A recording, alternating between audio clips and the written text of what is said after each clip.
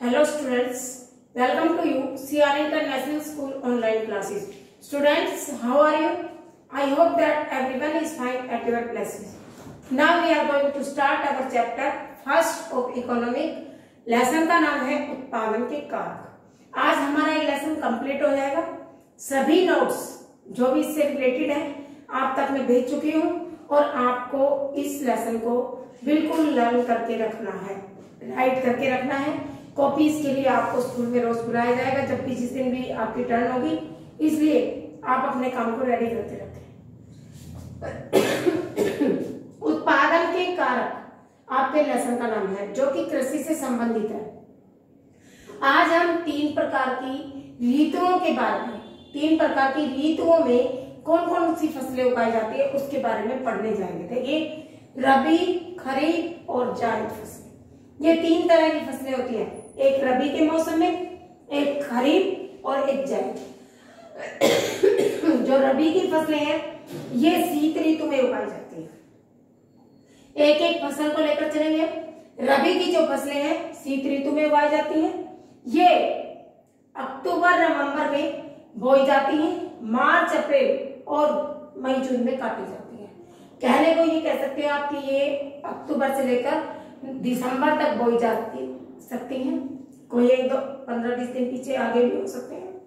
और मार्च से लेकर अप्रैल, मई, जून में काटे जाते हैं। कुछ लोग मार्च में फ़सलों काट लेते हैं। जैसे गेहूँ, कुछ लोग होली के आसपास, कुछ लोग अप्रैल तक इसको काटते हैं। तो ये टाइम की ड्यूरेशन उनकी बुआई पे डिपेंड करती है। जैसे कि रबी की फ़सलों के अगर कोई उदाहरण माँगता है, गेहूँ, जौ, चना, मटर, तिलहन आती उसके बाद आती है आपकी खरीफ की फ़सलें। खरीफ की फ़सलें वर्षा ऋतु में बोई जाती हैं। अप्रैल, ये वर्षा ऋतु में बोई जाती हैं। वर्षा ऋतु कब शुरू होती है आपकी? जून के एंड में, जुलाई के स्टार्ट में। तो जून, जुलाई तकरीबन अगस्त का भी आप मंथ ये ले लेती है। उसके बाद अक्टूबर, नवंबर में ये काटी जाती है। और जो मोटा अनाज होता है, जैसे ज्वार है, बाजरा है, मक्का है कपास है, मूंगफली है, इस तरह की ये जो मोटे दाने वाली अन्न होते हैं, वो फ़सलें खरीद के आपको इतना पहचान रखनी है। जो मोटा अनाज है, वो सारा खरीद की फ़सल में आता है। गेहूँ, जो खाने वाला अनाज है ज़्यादातर, गेहूँ, जो चना, मटर तिलहन भी हमारे खाने में प्रयुक्त होता है तेल। तो ये इस तरह की जो फ़सलें हैं, वो रबी में आपसे कोई पहचान कंफ्यूज हो जाते हैं कई बार बच्चे, कि रबी कौन सी, खरीफ कौन सी है। तो मैंने आपको बताया, जो खादान्य होगा वो रबी में खादान्य ये भी है, लेकिन हम खादान्य में इसमें मोटे अनाज को लेंगे।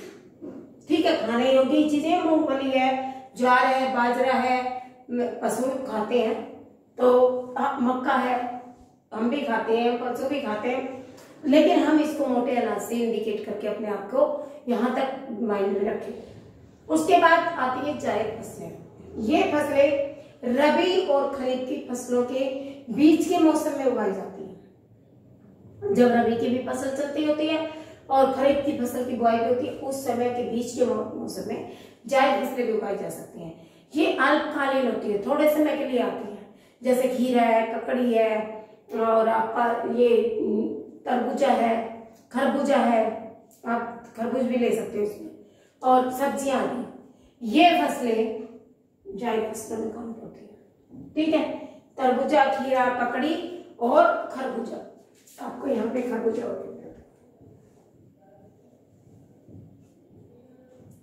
ओके? अब देखिए, ये तीनों तरह की फ़सलें हो गई आपकी, रबी खरीफ और जायद उसके बाद एक क्वेश्चन उठता है कि विनिर्माण क्या है? विनिर्माण का मतलब होता है उत्पादन करना। प्राकृतिक चीज़ों से हम कोई यूजेबल चीज़ बनाए। उत्पाद कर बनाए, जो हमारे प्रयोग में आए। जैसे कि अब गाँव और शहरों में उत्पादन की विनिर्माण की प्रक्रियाएँ अलग अलग है। गाँव में विनिर्माण बहुत ही सरल तरीके से होता है। कोई उसके लिए आपको साम दाम लगाने की ज़रूरत नहीं है ताम झाम कि, कहीं कारखाना बनाने की, कहीं फैक्ट्रियाँ लगाने की, कहीं बहुत ज़्यादा श्रमिक इकट्ठे करने की, या कहीं ऐड करने की, कहीं उस आपको उसके लिए जगह जगह पर आप अपनी जो कंपनी है या जो भी आप प्रोडक्ट करते हैं, उसकी ऐड करने की कोई वहाँ पर नीड नहीं होती। जो गाँव में बनता है, वो बहुत ही सरल तरीके से, लेकिन जो शहरों में बनता है, वो काम बड़े कठिन तरीके से होता है। बड़े कठिन तरीके से किसी भी चीज़ का जब हम विनिर्माण करते हैं तो उसके लिए बहुत ज़्यादा मेहनत की ज़रूरत होती है। बहुत ज़्यादा आपको वहाँ पर अपनी चीज़ का जो इस चीज़ का प्रोटेक्ट कर रहे हैं उसकी छानबीन करने की, उसको आगे तक पहुंचो लोगों तक, उसके लिए भी आपको कोशिश करनी पड़ती है। छोटे जो गाँव में प्रोडक्ट होती है, उत्पादन होता है छोटे छोटे पैमाने पर होता है।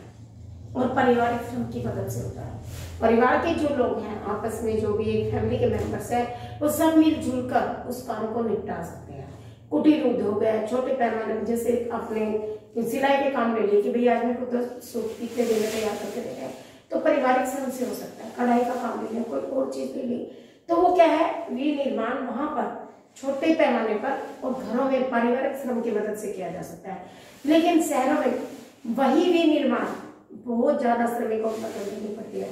उसी, उसमें कुशल श्रमिक भी होते हैं, अकुशल श्रमिक भी होते हैं। बड़े पैमाने पर काम होता है, फैक्ट्रियों में काम होता है, कारखानों में काम होता है, उत्पादन की प्रक्रिया बड़ी जटिल होती है। एक ही छत के नीचे काम होता है, उसका निरीक्षण करने वाले, गुणवत्ता की जाँच रखने वाले, बनाने वाले, स्टोर कीपर उसकी मतलब एक एक चीज़ की हिसाब किताब रखने वाले तो बड़े पैमाने पर होता है। एक अकेले आदमी या एक परिवार की मदद से ये प्रोडक्शन नहीं हो सकते हैं शहरों में। उसके लिए बड़ी एक जगह चाहिए। बहुत सारे श्रमिक चाहिए, बहुत बड़े पैमाने पर काम होगा, इसलिए पैसा भी उसमें काफ़ी लगाना पड़ता है। तो विनिर्माण कार्यों में इस तरह शहरों और गाँव में अंतर होता है। उसके बाद लोगों के जो स्थान बदलते हैं लोग एक गाँव से ज़्यादातर शहरों की तरफ़ आ रहे हैं, अग्रसर हो रहे हैं। या शहरों से और बड़े शहरों की तरफ़, या विदेशों की तरफ़ भी आजकल लोग जा रहे हैं तो उसके कारण क्या है? स्थान बदलने का प्रवसन का कारण क्या है? देखिए, बेहतर नौकरियाँ और रोज़गार की तलाश में लोग क्या करते हैं? अपने गाँव से आते हैं। देखो डेली अप डाउन करें तो उससे समस्या होती है। अब रोज़गार उनका मान लो शहरों में है तो रोज गाँव से आना, जाना पॉसिबल नहीं है। इसलिए वो क्या करते हैं? शहरों में टिक जाते हैं। वहीं पर अपना कमरा किराए पे लिया, मकान किराए पे लिया, अपने बच्चों के साथ। दूसरा, नौकरी और रोज़गार की तलाश में। गाँव में कृषि और छोटे उद्योगों के सिवा उन्हें व्यवसाय के रोज़गार के साधन कम मिल पाते इसलिए वो लोग क्या करते हैं? कि बेहतर नौकरियों और रोज़गार की तलाश में शहरों की तरफ़ निकल पड़ते हैं, कि उन्हें वहाँ नौकरियों के अवसर उपलब्ध हो जाएँगे, शिक्षा और स्वास्थ्य की सुविधा है। गाँव में उतने अच्छे स्कूल नहीं होते, सरकारी स्कूल होंगे एक आदि और संस्थान होंगे, लेकिन शहरों में उन्हें बेहतर शिक्षा के विकल्प प्राप्त हो सकते हैं। अनेकों स्कूल खुले हुए हैं, प्राइवेट भी हैं, अनेक संस्थाएँ हैं, कोचिंग सेंटर भी हैं। आप ट्यूशन भी ले सकते हैं। ट्यूशन तो खैर गाँव में भी मिल जाती है, लेकिन उतने ज़्यादा सार्थक विकल्प नहीं होते जितने शहरों में होते हैं। इसलिए लोगों को अपने गाँव से दूसरे क्षेत्र में जाना पड़ता है ताकि वो जीवन यापन के लिए जो भी शिक्षा है, स्वास्थ्य है, रोज़गार है, कोई भी चीज़ें उनको अच्छे ढंग से प्राप्त हो सके। उसके बाद असमानताएँ कहाँ पर है? समस्याएँ कहाँ पर है? अगर उन्हें ज़मीन का आवंटन सही नहीं है, रोज़गार नहीं है शिक्षा प्राप्त नहीं है तो उससे लोगों में आर्थिक असमानता व्याप्त होती है। बेरोजगारी बढ़ती है। आर्थिक असमानता मतलब कोई तो बिल्कुल गरीब, कोई बिल्कुल अमीर। तो उससे क्या होगा, दोनों के जीवन स्तर में भी काफ़ी अंतर होगा। एक के पास पूरी सुविधाएँ जीने के लिए, दूसरे के पास जीवन यापन के लिए कुछ नहीं। तो आर्थिक असमानता ही अमीरी और गरीबी को दो वर्गों में बांट देती है। इससे क्या होता है, बेरोजगारियाँ बढ़ती है।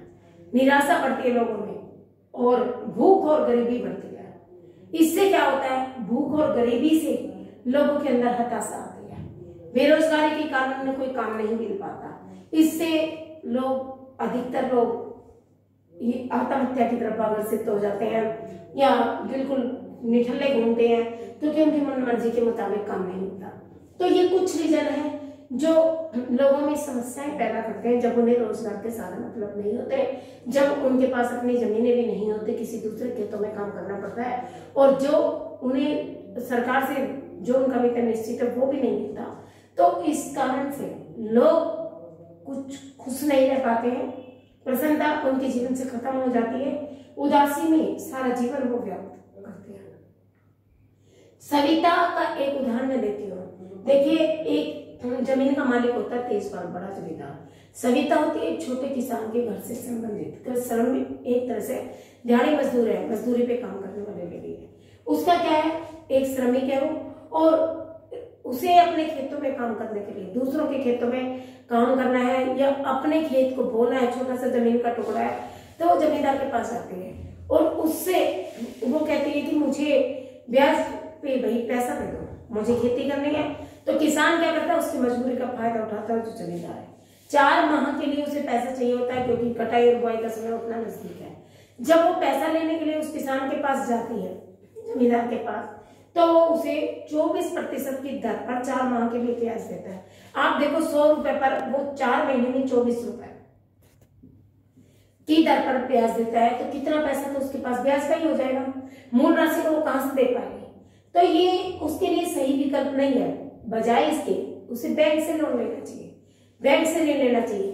क्योंकि जो भी जमीनों के बड़े मालिक है, वो छोटे लोगों की मजबूरी का इस तरह से फ़ायदा उठाते हैं। और फिर इतना ही नहीं, उस जमींदार ने क्या कहा कि जब कटाई का समय आएगा तो पैंतीस रुपए पे उसे उसके खेत में कटाई का काम भी करना पड़ेगा।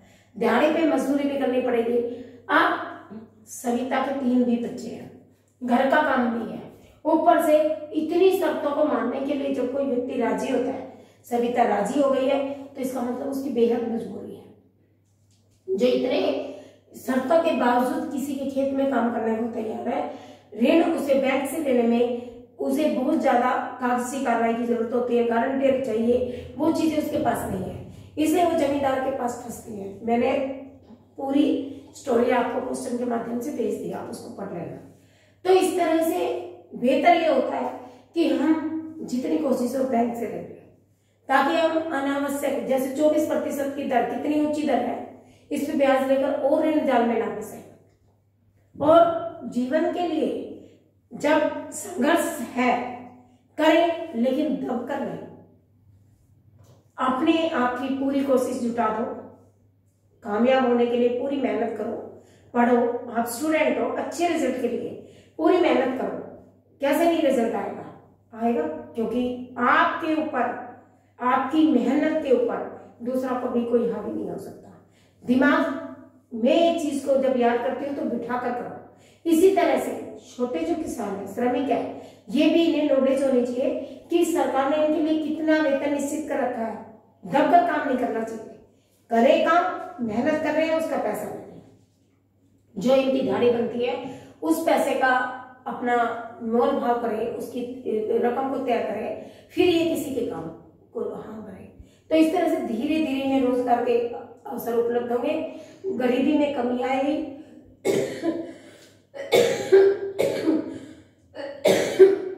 सॉरी और इन्हें जो जीवन की सुविधाएँ वो धीरे धीरे मिलती चली जाएगी।